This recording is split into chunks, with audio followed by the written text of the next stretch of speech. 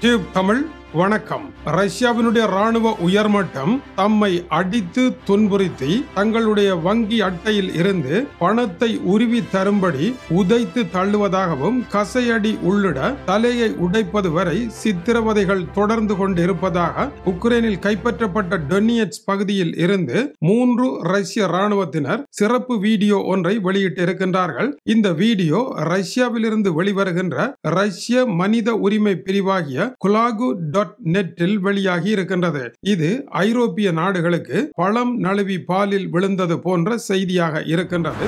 ஒன்று படைகளை மனிதத்தன்மை இல்லாமல் இவர்கள் நடத்துகின்றார்கள். போருக்கு விரட்டி அடிப்பதனால் தம்முடைய சகாக்கள் இருநூறு பேர் வரை மரணமடைந்திருக்கின்றார்கள். மேலும் கடுமையான அடி விழுவதாகவும் அதனால் போர்க்கள காயத்தை விட இவர்களிடம் அடி வாங்கி காயப்பட்டதே பெருங்காயம் என்று தங்களுடைய காயங்களை காட்டியிருக்கின்றார்கள். அதைவிட கொடுமை தங்களுடைய சம்பள பணத்தை தங்களுடைய வங்கியில் போட்டுவிட்டு அதன் பின்னர் அதை பறித்தெடுக்கின்ற வேலையும் ரஷ்யாவினுடைய உயர் மட்டத்தில் நடைபெற்றுக் கொண்டு இருப்பதாகவும் இந்த மோசடியிலிருந்து தங்களை காப்பாற்ற வேண்டும் என்று ரஷ்ய ஆளும் வர்க்கத்திற்கு கோரிக்கை விடுகின்ற இந்த காணொலியை துணிகரமாக வெளியிட்டிருக்கின்றார்கள். இவர்களுக்கு என்ன நடைபெறப் போகின்றது? இவர்களுடைய பிரச்சனை தீர்வதற்கான வாய்ப்புகள் இல்லை.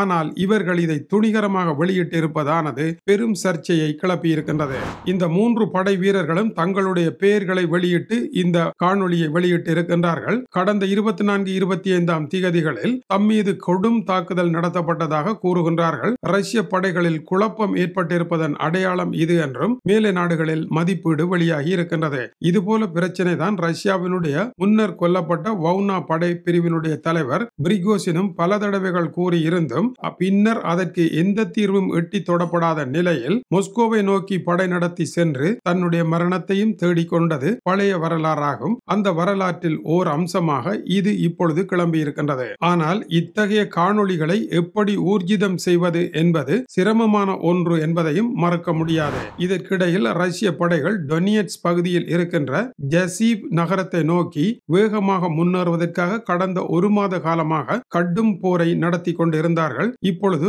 நாற்பது வீதமான நிலப்பரப்பை கைப்பற்றி விட்டதாக கூறப்படுகின்றது. பெரும்பாலும் முழு இடங்களையும் கட்டிடங்களை தரைமட்டமாக உடை உடைத்து தள்ளி பொட்டல் வெளியாக்கி அதன் பின்னர் முன்னேறி செல்லுகின்ற ரஷ்யாவினுடைய படை நடவடிக்கையாக இது இருக்கின்றது. அதேவேளை குர்ஸ்க் நகரத்தில் உக்ரைனிய படைகளினுடைய தாக்குதல் மந்த நிலை அடைந்திருப்பதாக ரஷ்யாவிலிருந்து செய்தி வெளியாகி இருக்கின்றது. இருப்பினும் ரஷ்ய படைகளினால் குர்ஸ்க் பகுதியில் இருந்து உக்ரைனிய படைகளை தொடர்ந்து விரட்டி அடிக்க முடியாத நிலைதான் இருக்கின்றது என்று அமெரிக்காவினுடைய சிஐஏ உளவு பிரிவினுடைய உதவி தலைவர் டேவிட் ஹோகன் தெரிவித்திருக்கின்றார். குர்ஸ்க் நகரம் நான்கு வாரங்களாக உக்ரைனுடைய கட்டுப்பாட்டில் இருக்கின்றது. ஆனால் எதையும் செய்ய ரஷ்யாவினால் முடியவில்லை. இதற்குள் உக்ரைனினுடைய அழிந்து போன பகுதிகளை மீள் கட்டமைப்பு செய்வதற்காக டென்மார்க் ஒன்று தசம் ஐந்து பில்லியன் குரோனர்களை வழங்குவதாக சற்று முன்னர் அறிவித்திருக்கின்றது. போரில் இருக்கின்ற முக்கியமான விடயம் என்னவென்றால் போர் முடிவடைந்த பின்னர் அபிவிருத்தியை செய்வோம் என்று விடுவோமாக இருந்தால் உலக நாடுகள் ஓடி மறைந்துவிடக்கூடிய அபாய நிலை இருக்கின்றது.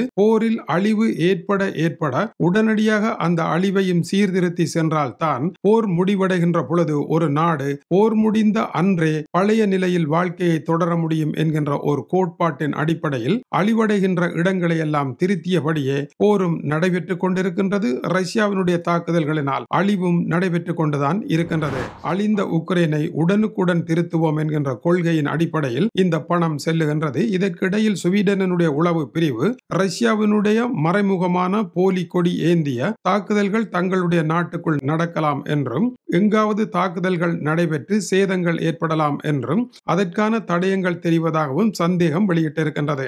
சுவீடன் உக்ரைனுடன் உறவு கொள்வதனால் ரஷ்யா தமது நாட்டின் மீது கோபமாக இருப்பதாக அவர்கள் தெரிவிக்கின்றார்கள். ரஷ்யாவை விட்டு சுவீடன் நேட்டோவில் சேர்ந்ததனால் மேலும் இன்னொரு பங்கு ரஷ்யாவிற்கு கோபம் இருக்கின்றது என்றும் அந்த செய்தி கூறுகின்றது. அதேவேளை குர்ஸ்க் நகரத்தில் உக்ரைனிய படைகளினுடைய தாக்குதல் குறைந்திருந்தாலும் கூட சில இடங்களில் அவர்கள் பின்வாங்கி இருப்பதாகவும் பிந்திய செய்திகள் தெரிவிக்கின்றன. இது டியூப் தமிழருடைய உலக செய்திகளுக்காக டென்மார்க்கில் இருந்து கீசே துறை வணக்கம் உறவுகளை.